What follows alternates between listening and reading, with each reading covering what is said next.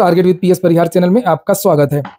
आइए शुरू करते हैं और देख लेते हैं कि आज के समाचार पत्रों में विद्यार्थी जीवन से संबंधित कौन कौन सी सूचना है। तो वीडियो को जल्दी से लाइक कर दें शेयर कर दें और जिन छात्रों ने चैनल को अभी भी सब्सक्राइब न किया हो तो जल्दी से सब्सक्राइब कर लें ताकि आप लोगों को इसी प्रकार की अथेंटिक अपडेट से सबसे पहले मिलती रहे। सबसे पहली सूचना है, सहायक अध्यापक व प्रवक्ता को राजपत्रित घोषित करने की मांग की गई है। एलटी ग्रेड व लेक्चरर प्रवक्ता की जो वैकेंसी आती है उत्तर प्रदेश लोक सेवा आयोग से, उसकी बात हो रही है। राजकीय शिक्षक संघ ने सहायक अध्यापक के प्रोन्नत वेतन मान पाने वाले प्रवक्ता, चयन वेतन मान पाने वाले शिक्षकों को राजपत्रित अधिकारी घोषित करने की मांग की है। संघ ने कहा कि हाल में उत्तराखंड की सरकार ने ऐसा ही किया है, ऐसे में प्रदेश सरकार भी इसे घोषित कर सकती है। अगर चाहे तो संघ के प्रांतीय अध्यक्ष रामेश्वर प्रसाद पांडे ने अपर मुख्य सचिव माध्यमिक शिक्षा दीपक कुमार को पत्र भेज करके कहा कि एक ही पद पर उक्त शिक्षक 26 से लेकर के 32 साल तक की सेवा करके सेवानिवृत्त हो जाते हैं और ये चौवन सौ ग्रेड पे पर ही काम करते हुए सेवानिवृत्त हो रहे हैं। ऐसे में इनको राजपत्रित अधिकारी घोषित करने पर किसी तरह का अतिरिक्त भार नहीं आएगा।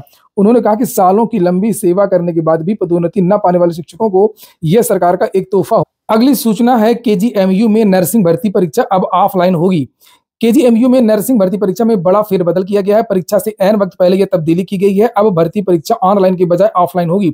ऑनलाइन में ज़्यादा धांधली होने लगी है और आप लोगों ने देखा होगा कि उत्तर प्रदेश दरोगा भर्ती में क्या हुआ? इसके बाद में ही ये चर्चा हुई थी पुलिस विभाग में कि अब हाइब्रिड मोड में भर्ती कराई जाए, परीक्षा कराई जाए। इसी तरीके से आप लोगों ने देखा होगा, एक बार सीटेट की परीक्षा करवाई गई थी, लेकिन बहुत ज़्यादा सीटेट में दांतली हुई थी। उसके बाद में फिर सीटेट की जो परीक्षा, वो ऑफलाइन की गई। अब धीरे धीरे ज़्यादातर भर्ती बोर्ड ये सोच रहे हैं कि जो धांधली है, वो ऑनलाइन में ज़्यादा होती है और मेन बात यह कि इसको पकड़ पाना मुश्किल होता है और संस्थागत स्तर पर भी ज़्यादा होता है। यानी परीक्षा एजेंसी के कर्मचारी वगैरह, संस्थान वगैरह से भी धांधली हो जाती है, लेकिन ये विद्यार्थियों को पता तक नहीं चलता है। तो उसी क्रम में यहाँ पर आप लोग देख सकते हैं कि एक बार ये जो परीक्षा है, वो ऑनलाइन हुई थी और उसके बाद से अब ऑफलाइन का यहाँ पर निर्णय लिया गया है। लिखा हुआ है कि 12 अक्टूबर को बैठक हुई। गुरुवार को बैठक के मिनट्स जारी किए गए। जून 2023 को केजीएमयू ने नर्सिंग ऑफिसर के बारह पदों पर भर्ती के लिए विज्ञापन जारी किया था। देश भर से तकरीबन साठ हज़ार से ज़्यादा अभ्यर्थियों ने आवेदन किया था। टेंडर जीतने के बाद परीक्षा की ज़िम्मेदारी मैसर्स एडु टेस्ट को मिली थी और कंप्यूटर आधारित टेस्ट से भर्ती होनी थी। इससे पहले लोहिया संस्थान में नर्सिंग भर्ती की परीक्षा की ज़िम्मेदारी भी एडु टेस्ट को मिली थी। ये बात जो मैं भी बता रहा था आप लोगों को, जो लोहिया संस्थान की एक भर्ती आई थी, उसकी परीक्षा में काफ़ी गड़बड़ी हुई, उजागर हुई थी और इससे सरकार की बहुत किरकिरी हुई थी। कई राज्यों में परीक्षा केंद्र बनाए गए थे और जिस पर अभ्यर्थियों ने आपत्ति दर्ज कर बहुत कई सारे परीक्षा केंद्रों की जो परीक्षा वो रद्द करनी पड़ी थी, आप लोगों ने भी देखा होगा, विद्यार्थियों ने गंभीर आरोप लगाए थे लोहिया संस्थान में जो नर्सिंग की भर्ती हुई थी और उसके बाद से फिर के ने यह निर्णय लिया है। कई राज्यों में परीक्षा केंद्र बनाए गए थे, जिस पर अभ्यर्थी ने आपत्ति ज़ाहिर की थी और उसके बाद केंद्रों में संशोधन हुआ है। फिर केंद्रों में गड़बड़ियाँ उजागर हुई थी, परीक्षकों को बंधक बना लिया गया और कंप्यूटर में खामियाँ मिली थी। सबक लेते हुए के प्रशासन ने ऑनलाइन परीक्षा से तौबा कर लिया। कार्य परिषद में बताया कि अधिक ज़्यादातर आवेदक यूपी के हैं और एक से अधिक राज्यों में परीक्षा में अड़चन आ सकती है। मैं आपको बता दूँ कि स्टाफ नर्स की जो भर्ती का जो कोर्स है, वो पूरा आप लोगों को target with PS Parihar application या target with PS Parihar dot com website पर मिल जाएगा। Target with PS Parihar application play store पर आपको मिल जाएगा। भारत की सभी प्रतियोगी परीक्षाओं के उसमें मॉक टेस्ट आपको मिल जाएँगे सॉल्व पेपर मिल जाएँगे डेली करेंट अफेयर वगैरह तो निःशुल्क मिलता है यहाँ पर। बहुत सारे, जैसे डेली न्यूज़ है, ये भी आपको निःशुल्क मिलेगा। बहुत ज़्यादा जो विद्यार्थी हैं इससे जुड़े। इसमें केवल उत्तर प्रदेश लोक सेवा आयोग, police constable UP triple SC ही नहीं, बल्कि किसी भी अदर स्टेट का कोई विद्यार्थी है तो दूसरे स्टेट की परीक्षाओं के मॉक टेस्ट और जो पुराने पेपर वगैरह है, वो मिल जाएँगे। चाहे वो बैंकिंग की भर्ती हो, चाहे वो एसएससी की भर्ती हो, या कोई अन्य विभाग की भर्ती हो, आप लोग यहाँ पर देख सकते हैं, सारी भर्तियों के जो मॉक टेस्ट है, वो इसमें उपलब्ध है। बीएड को बाहर कर दिया गया है, और इसीलिए बीएड के विद्यार्थियों का कोई इंटरेस्ट नहीं बचा है। टीईटी की मार्कशीट में, और यहाँ पर लिखा है कि प्राइमरी टीईटी के चार लाख तैतालीस हज़ार प्रमाण पत्र फंसे हालाँकि मामला अभी भी कोर्ट में है। अगली सूचना सीजीएल 2023 की है। सीजीएल 2023 की टीयर टू परीक्षा 26 तारीख से सभी विद्यार्थियों के एडमिट कार्ड जारी कर दिए गए हैं। लिखा कंबाइंड ग्रेजुएट लेवल 2023 की टीयर टू परीक्षा 26 और 27 अक्टूबर को होगी। सीटी नर्सरी और एनटीटी के लिए पंजीकरण कल से, उसके बारे में विज्ञप्ति भी आज के पेपरों में है। लिखा परीक्षा नियामक प्राधिकारी ने गुरुवार को सीटी नर्सरी और एनटीटी डीपीएसई और डीपीएड प्रशिक्षण शैक्षिक सत्र दो हज़ार तेईस चौबीस में दाखिले के लिए कार्यक्रम जारी कर दिया है। सचिव पीएनपी अनिल भूषण चतुर्वेदी की ओर से जारी विज्ञप्ति के मुताबिक ऑनलाइन पंजीकरण 21 अक्टूबर से शुरू होगा। इसकी अंतिम तिथि 24 नवंबर है। 27 नवंबर तक शुल्क जमा होगा। ऑनलाइन आवेदन पूर्ण कर प्रिंट लेने की अंतिम तारीख तीस नवंबर तय की गई है। अभ्यर्थियों के लिए आयु सीमा भी निर्धारित की गई है। एक जुलाई 2023 को आवेदन करने वालों की उम्र 18 साल से कम और 35 साल से अधिक नहीं होनी चाहिए। सीटी, नर्सरी, एनटीटी प्रशिक्षण केवल महिला अभ्यर्थियों के लिए है।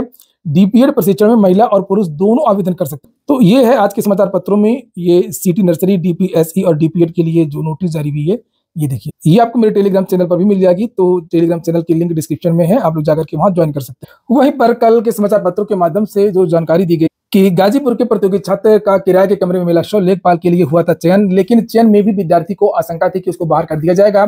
चूँकि ये विद्यार्थी जो दिव्यांग था और ओ एच में ओ एल कैटेगरी में आता था। इसने एक इंटरव्यू के माध्यम से जानकारी भी दी और यहाँ पर देख सकते हैं कि लिखा हुआ है कि पॉलिटेक्निक बीटेक और बीएड कर चुका था और अब ये पोस्टमार्टम के बाद में ये जानकारी दी गई है कि इसकी जो मृत्यु है वो हार्ट अटैक से हुई थी। कभी बीएड को शामिल कराने के लिए चूँकि बीएड ये कर चुका था बाहर किया गया था और कभी यूपी ट्रिपल एस प्रदर्शन के लिए ये विद्यार्थी कई बार गया था और मांग रखी थी कि ओ एच और ओ एल कैटेगरी के विद्यार्थियों को भी लेखपाल भर्ती में शामिल किया रंजन विभाग से हमारी रिक्वेस्ट यही है कि हमारी मांगों को जल्दी से जल्दी पूरा करें।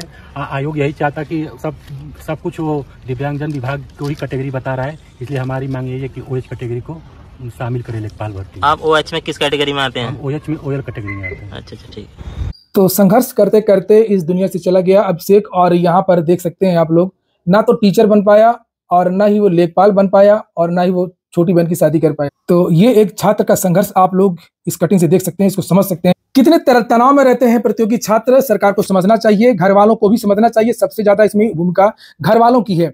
दोस्तों की है, उसके साथ वालों की। कभी भी विद्यार्थियों के ऊपर इतना ज़्यादा प्रेशर किसी को भी नहीं देना चाहिए। जैसे यहाँ पर देखिए लिखा हुआ है कि हार्ट अटैक से हुई प्रतियोगी छात्र की मौत ये अभिषेक की बात हो रही है।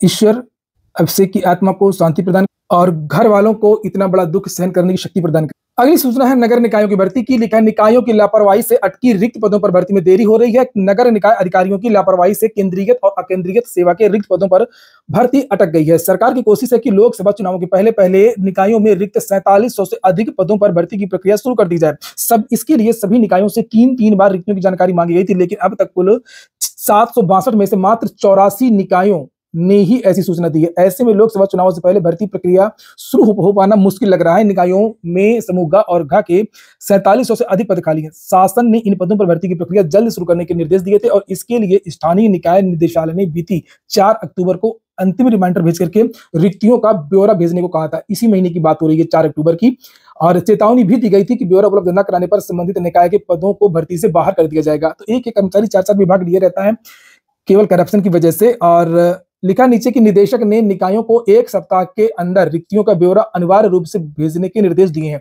तो ये फिर से रिमाइंडर भेजा गया है। देखते हैं कि पदों का ब्यौरा आता है या नहीं आता और अगर पदों का ब्यौरा आ जाता है तो हो सकता है कि लोकसभा चुनाव को पहले पहले आप लोगों को नगर निकायों की भर्ती के जो विज्ञापन है वो देखने को मिल जाए। यही सूचना अन्य समाचार पत्रों के माध्यम से भी दी गई। सरकार का जो आउटसोर्सिंग का अभियान है वो जारी है। लिखा है, पढ़े लिखे ज़्यादा हैं तो छोटी नौकरी से रहें दूर। आउटसोर्सिंग के चतुर्थ श्रेणी के पदों पर इंटर से ज़्यादा पढ़े होंगे अपात्र। अभी ये देखा भी गया है कि जो बहुत ज़्यादा योग्य विद्यार्थी बेचारे बेरोजगारी के चक्कर में M M B A B C A B B A B tech वगैरह करके एम टेक करके छोटी मोटी नौकरी करने लगते हैं। और उसके बाद फिर उनका मन नहीं लगता है, फिर वो छोड़ देते हैं। पंचायत सहायक की जो वैकेंसी आई थी, उसमें भी आप लोगों ने ये चीज़ें देखी होंगी। बहुत सारे विद्यार्थियों ने इस्तीफा दे दिया छोड़ दिया, ये मन से काम नहीं करते हैं। तो इसको देखते हुए ये नीति बनाई गई है। पाँच हज़ार, छह हज़ार रुपए में काहे को कोई काम करेगा? लिखा नीचे यहाँ पर प्रदेश सरकार आउटसोर्सिंग से होने वाली कर्मचारियों की भर्ती व्यवस्था में बड़ा बदलाव करने जा रहा है। अब चतुर्थ श्रेणी के पदों के लिए बारहवीं से ज़्यादा पढ़े लिखे और युवा अयोग्य होंगे, एक जैसा काम करने वालों के पदनाम, उनकी शैक्षिक योग्यता और मानदेय भी तय किए जाएँगे। प्रदेश के सरकारी विभागों व उनके अधीनस्थ संस्थाओं में आउटसोर्सिंग के ज़रिए कर्मचारी रखे जाते हैं। लंबे समय से कर्मचारी संगठन इन लोगों के शोषण की शिकायतें कर रहे हैं। मुख्यमंत्री योगी आदित्यनाथ ने इस व्यवस्था में सुधार के निर्देश दिए हैं और इस संबंध में श्रम विभाग की एक कैबिनेट प्रस्ताव 10 अक्टूबर को भेजा था।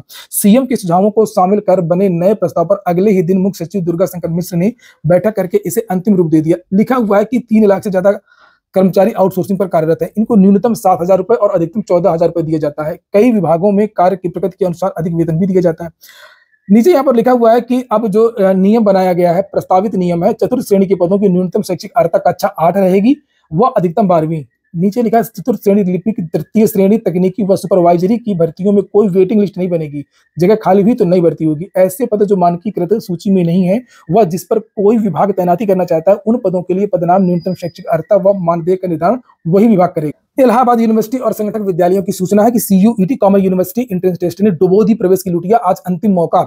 सीटें तो खाली रह ही गई, साथ में सत्र भी पिछड़ गया और आज इसकी लास्ट डेट है, जो विद्यार्थी एडमिशन लेना चाहते हो बीए बीएससी बीकॉम इत्यादि में तो विद्यार्थी एडमिशन ले सकते चाहे उन्होंने सीयूईटी दिया हो या चाहे सीयूईटी ना दिया हो, वो सीधे प्रवेश ले सकते उत्तर प्रदेश लोक सेवा आयोग ने गुरुवार को असिस्टेंट प्रोफेसर बायोकेमिस्ट्री के दो पदों का परिणाम जारी कर दिया और इसमें रिक्त पदों के सापेक्ष एक अभ्यर्थी का चयन भी हुआ, जबकि एक पद रिक्त रहे बीपीएससी कार्यालय के बाहर प्रदर्शन किया है विद्यार्थियों ने। विद्यार्थियों का कहना कि एक ही विद्यार्थी का दो दो पदों के लिए चयन हो गया है और बीपीएससी के चेयरमैन ने भी ये बात मानी है कि माध्यमिक और उच्च माध्यमिक में कुछ ऐसे भर्ती हैं जिनका दोनों रिज़ल्ट हुआ है। किसी समाचार पत्र में तीस प्रतिशत आरक्षण की बात की गई है, किसी में बीस प्रतिशत नोटिफिकेशन आने दीजिए तभी देखेंगे। पूरा वीडियो सुनने के लिए बहुत बहुत धन्यवाद।